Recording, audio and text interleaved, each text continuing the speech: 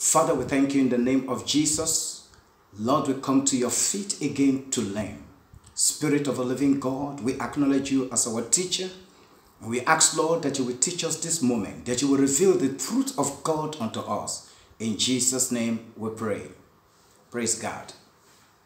Uh, we're going to be going through a series of studies that I have titled From Moab to Canaan.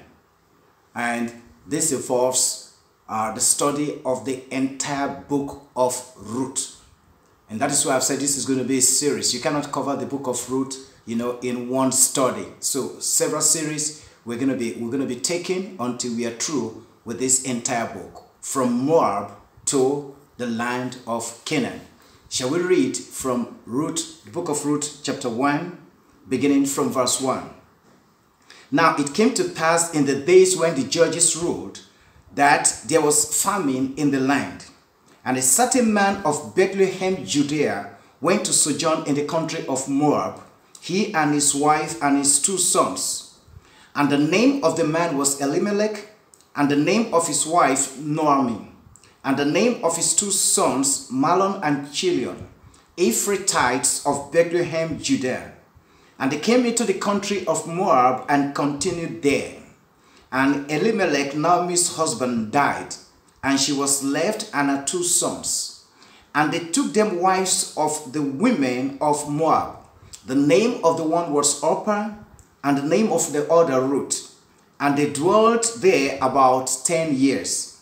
And Mahlon and Chilion died also both of them. And the woman was left of her two sons and her husband.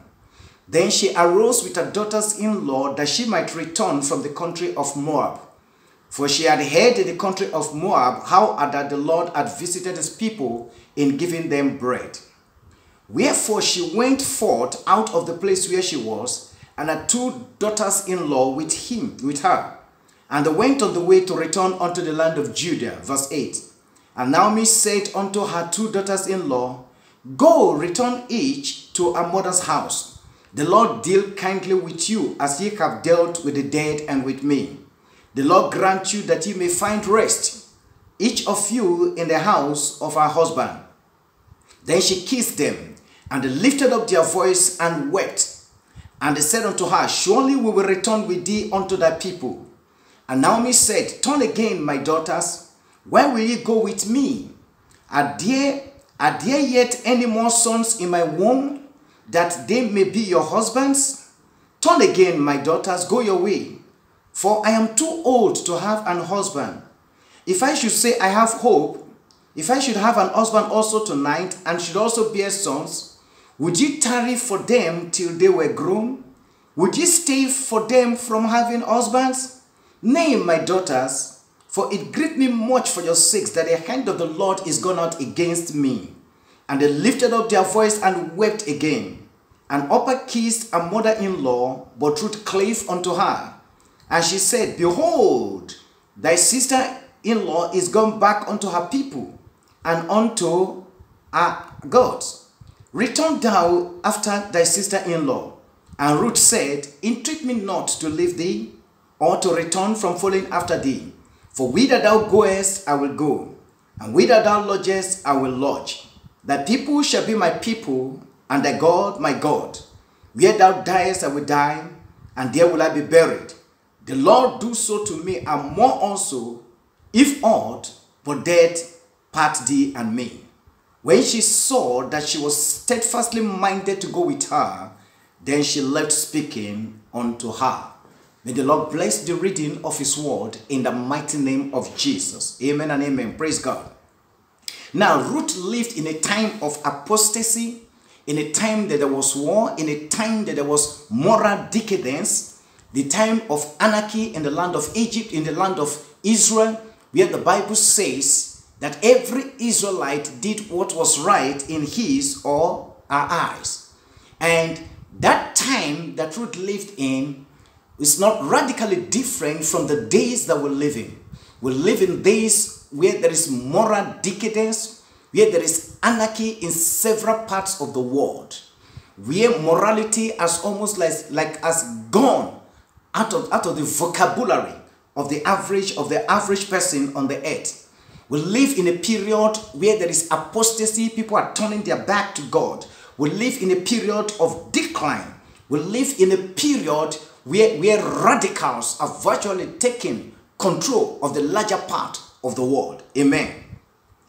Now, but Ruth, the life of Ruth demonstrated another part of the world. Amen. Where you have on the section of the world you had moral decadence, but in this on this underside we had a few people like Ruth that had lived to the glory of God, the godly remnant who remained true to the laws of God. And may I ask you, which of these two company of people do you belong to?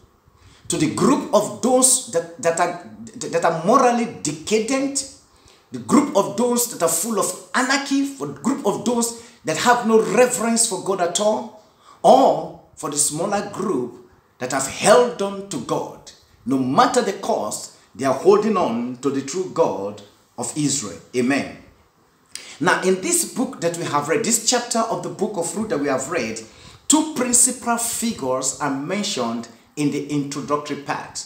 And these are Elimelech and Naomi. Amen. Since Hebrews do not just give names for the sake of giving names, since for the Hebrew that there are significance attached to names that are given to people, it is important that we begin this study by looking at, by examining the meaning of the names of the principal characters in this book of Ruth because they have spiritual implications. Amen. Praise God. Now, Elimelech means God the king. God the king. While Naomi means pleasant. Pleasant. Of course, this means, this basically suggests that this couple had the knowledge of God, they had a relationship with God. Otherwise, they would not have named themselves after the God of Israel. And I want to believe that they acknowledge the authority of God in their home at this point. Amen. Further, this home was blessed with two sons, at least two sons are mentioned. And you know, in those days, recognition, recognition was not so much given to, to women. So it is not impossible that they could have had female children, but there's no record of that in the Bible. Look at Jacob. Jacob had 12 sons, but Jacob also had a daughter that was mentioned probably only once in scripture, and that is Dinah. So this couple, this home had two sons, and the names of these sons are Mahlon and Chilion. Amen. Mahlon and Chilion. And it's very crucial to look at the meanings of the names given to these two sons. Mahlon means to be sick, to be ill, while Chilion means pining, destruction, consumption, or failing. And these have to do with sicknesses. For instance, if you have a, if you're suffering from cancer, cancer is a disease that basically will consume you until the person eventually dies. It is the same thing with the HIV virus also. When you have it, there is no known cure for it. The best that can be done is to prolong your life. Amen. So that is like a disease that consumes. So that is the meaning of the name of Chilion. Praise God. Now, it is not immediately clear why this home, the parents, the parents, Elimelech and Naomi had very good names, but it's not immediately, immediately clear why they would have given this kind of negative names to their two sons. Perhaps, as usually happened in those days, parents would normally give names, especially the mother would normally give names to the children as, as a remembrance, you know, of the kind of experience that she had during childbirth or when she was giving birth to that child. If, for example, she went through so much pain when she was giving birth to the child, she might decide to name the child, you know, to reflect the experience, the pains that she went through when she was giving birth to the child. So it is not impossible that these names, Chilion and Mahlon, could have been given to these two sons, you know, to reflect the kind of experience probably that the mother or the father of both of them went through before they were given birth to. Amen. Now, whatever it is that may have been responsible for these two sons being given this kind of names, obviously, these were not proper names to give to children. Amen. They were not good names to give to children because they portray, you know, a future that is not going to be good. Because whatever name that you give to a child, that name is going to reflect, is going to resound in the future of that child. Amen. Now, uh, to be able to demonstrate that, it wasn't by accident, you know, that God decided to call Abraham Abraham. Abraham means father of all nations. So that the moment people call that name, it reminds Abraham of God's purpose for him, which is to have him to be the father of all nations, the father of a great multitude. So each time that name Abraham is called, faith kind of arises in him that look, I may not be a father of all nations now, but God's word says, and his word will surely come to pass, that he's going to be a father of all nations. So that name was very important. There was a lot of spiritual significance attached to it, and that's the reason why God changed his name from Abram to Abraham. Calling that name produces faith in Abraham. Amen. If you also look at Jesus, Jesus was so named, you know, to reflect the purpose of God for him on the planet Earth. He came to save us from our sins. So each time he's called Jesus, that reminded him of the purpose of God for him. And we've seen several children that have come to lift out the meaning of their name. So the name that you give to a child is very important. It is spiritually significant because it will ultimately determine the lifestyle, the pattern, the pathway of that child. So, so it wasn't good that these kinds of names, Mahlon and Chilion, meaning sickness, illness, disease, consumption, wasting away, were given to these children. This is an important lesson, you know, for us to learn as Christians. Amen. Praise God. Now, this family lived in Bethlehem, Judea. And of course, Bethlehem, Judea at this time was located in the land of Canaan, the very land that God promised to Abraham, to Isaac, and to Jacob. And during the time of Joshua, they came to possess the land. So they were living in Bethlehem, Judea. Of course, Bethlehem is the birthplace of the Lord Jesus Christ, our Savior. He was born in Bethlehem, while Judah itself is the tribe from which the lion of the tribe of Judah descended. So they lived in Bethlehem, Judea. And specifically, Bethlehem means house of bread, while Judah means praise. Here again, you can see the significance of names. Amen. Bethlehem means house of bread, and Judah means praise. So you can imagine what it means to call a child, to name a child Judah. As you name that child Judah, praise is what will be resounding each time you call the name of that child. So they lived in Bethlehem, which means house of bread, and in Judah, which means praise. And of course, for this family to have lived in this place, it means that they must have been a privileged family. You're living in a place that is known as the house of bread and in a place that is also known as praise. Praise God. So this family lived joyfully with their two sons, of course, in prosperity and with contentment. There was no sorrow, there was no problem, none of them was ill, none was sick, they were alive, they were full of life until famine showed up one day. They lived well until there was famine in the land. And this famine was not famine of a few days or a few months. It was a protracted kind of famine. And when you have famine, obviously there will be shortage of food. And when you have shortage of food, there will be general increase in the price level, which in economics we call inflation. Inflation rate will have, will have risen, which makes the cost of living to be very high and therefore could resound into lower standard of living. Amen. Now let's talk about this famine a little bit. There are two major kinds of famine in scripture. These are natural and spiritual famine.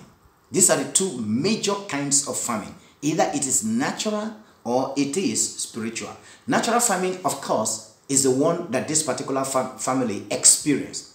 And it simply means the lack of physical rain. And once you have lack of rain, then the seed that you cultivate in the ground would obviously not germinate. If it does, it's not going to grow well because it's going to lack the basic nutrients that it needs to grow. So there will be reduced productivity, there will be there will be fruitlessness, and then output to be very low, which will result, you know, in a high cost of things. That is the natural farming. Now, the spiritual farming implies the absence of the word of God or lack of word from God. You know, the word of God becomes very scarce. And today Christians will say there is closed heaven. There is no spiritual rainfall. Amen. That's what is known as spiritual famine. The word of God will not be there. There will be no the presence of God might not even be, be, be, might not even be made manifest, probably as it used to be, or might not even be made manifest at all. And so there will be fruitlessness, there will be struggling in the land. This is what is known as spiritual famine. Praise God. Famine in scripture is an indication, right through scripture, the entire Old Testament is an indication of disobedience and apostasy. You can see that in Deuteronomy chapter, chapter 25 or to 30 where God told them that, look, when you live in disobedience, when you live in apostasy, you begin to worship false gods, you abandon me, then I am going to call for famine. I will close the heaven. There will be no rainfall. And once there is no rainfall, there will be no productivity. There will be suffering in the land. Even sometimes to the point that humans begin to eat themselves. Therefore, famine basically suggests that there is a need for repentance in the land. Amen. It's also important to know that famine is very common in scripture. From Genesis down to Malachi in the Old Testament, even in the New Testament, during the time of Agabus, there was famine. So famine is, is not something that is strange. It runs through the entire scripture. Even the patriarchs, you know, in their time, they also experienced famine. Let's look at a few of them. Amen. Praise God. Now, Abraham had famine, you know, in his time. In Genesis chapter 12, let me read verse 10. Genesis chapter 12, verse 10. It says, And there was a famine in the land, and Abram went down into Egypt to sojourn there, for the famine was grievous in the land. So Abraham also experienced famine despite the fact that he was a man of God, despite the fact that he was a friend of God, he had a close walk with God, but he still had famine. So the fact that you are having a close walk with God does not necessarily mean that you will not have famine. And the fact that you are where God wants you to be and you are doing what God wants you to do does not mean also that you are not going to experience famine. Praise God. Now, Isaac also had famine in his time. Genesis chapter 26, verse 1. Listen to what it says. And there was a famine in the land beside the first famine that was in the days of Abraham. And Isaac went unto Abimelech, king of the Philistines, unto Gerar. And so in the time of Isaac, there was also famine. Isaac prepared, his thought was to go down to Egypt, but God intervened and stopped him. Amen. So we've seen that Abraham experienced famine. Isaac experienced famine. Even Jacob, the last of the patriarch, also experienced famine, you know, in his time. You have this reference, Genesis 41, verses 53 to 57. You would recall, if you're familiar with your Bible, that it was, it was famine that made Jacob and the, the 11 sons to relocate to the land of Egypt to meet Joseph. So all of these patriarchs experienced famine in their time. Even in the time of Elijah, for three and a half years, the famine in the land was so sore. Amen. In the time of Elijah also, there was famine. So famine is peculiar in scripture. There is nothing strange about famine. Amen. But it indicates that there is sin in the land and there is need for the people to repent. Praise God. Now let's proceed in this study.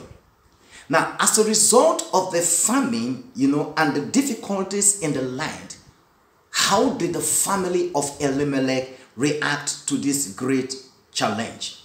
And the way you respond to famine is very important. So it's not just the issue it's not just that there is famine, or there are difficulties or there are challenges that you're going through, but how do you respond to these challenges? How do you respond to these difficulties? This is what is crucial in our Christian walk, in our earthly pilgrimage. Amen. Now, in the case of Abraham, Abraham went, the Bible says in Genesis chapter 12, verse 1, that the result of the reaction of Abraham to famine was that he went down to Egypt. And the scripture carefully describes it as a going down. He went down into Egypt, to Egypt. Now, in the case of in the case of Isaac, Isaac was about his response was that he was about to go down to Egypt, but God intervened and stopped him. Amen.